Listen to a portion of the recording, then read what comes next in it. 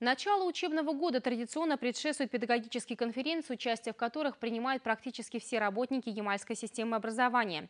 Традиционно подводятся итоги прошедшего периода, формулируются текущие перспективные задачи на будущее, вручаются награды лучшим педагогам. В минувшую субботу такая конференция прошла в Лабытнангах. Что стало ее главной темой, расскажет Татьяна Попова. Ежегодная педагогическая конференция – мероприятие в высшей степени традиционное. Главная задача – определить приоритеты и задать вектор направления развития муниципальной системы образования на ближайшую перспективу. Поэтапная реализация национального проекта образования, внедрение инновационного проекта «Наша новая школа», федеральных образовательных стандартов формулируют новые требования, которым должен отвечать современный учитель.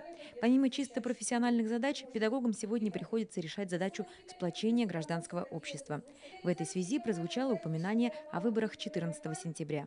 Очень хочется верить, что вы новаторы, идейные вдохновители, поведете с собой и педагогические, и ученические, и родительские коллективы для того, чтобы определить счастливое будущее на ближайшие пять лет города Юмал, Ямала и Тюменской земли. Руководителю Лабытнанской системы образования был передан приветственный адрес главы администрации города и букет цветов.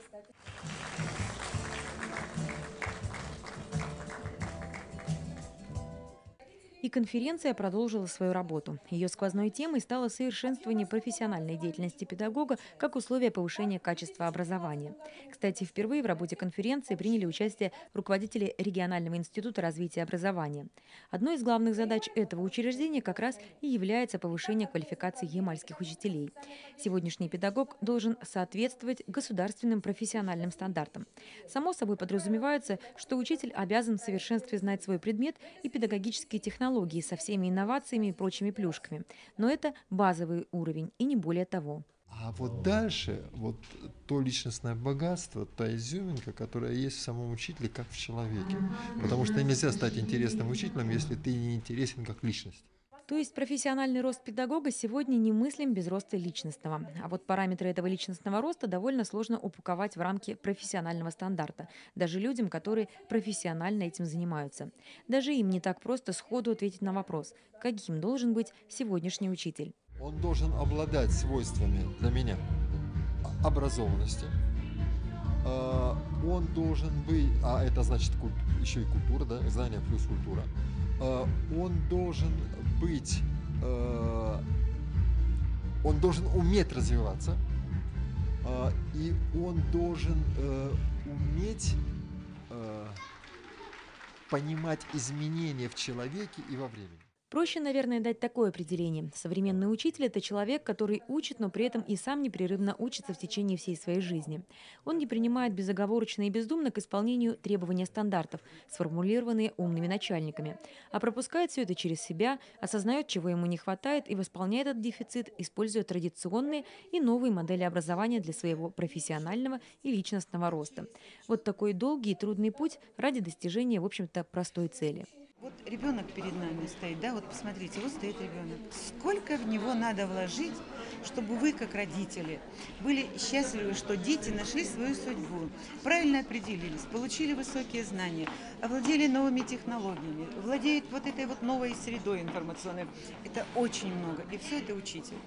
Поэтому и взяли мы вот такую тему, что это, да, это непрерывный рост профессиональных квалификаций в завтрашний день, в будущее.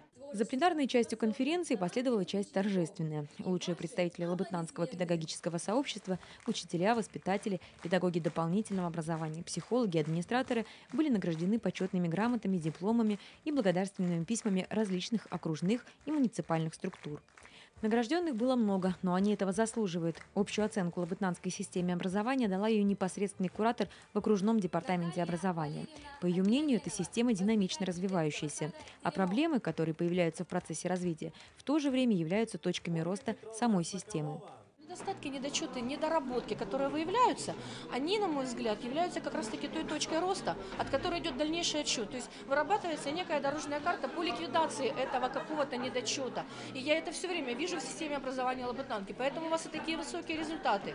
И те же стубальники, и те же олимпиадники, и ваши школы, которые вошли в рейтинг лучших. То есть я могу дать только вот такую оценку деятельности вашей системы. Прошедшая научно-практическая конференция далеко не единственное мероприятие такого рода для лабытнанских педагогов. Впереди у них многочисленные сессии, секции, совещания и круглые столы на ту же тему – совершенствование профессиональной деятельности педагога как условие повышения качества образования. Татьяна Попова, Игорь Борисов, Александр Чирва, программа «Время местное».